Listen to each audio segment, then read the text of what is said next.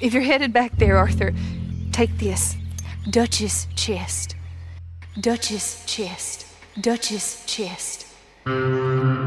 Duchess chest. Duchess chest.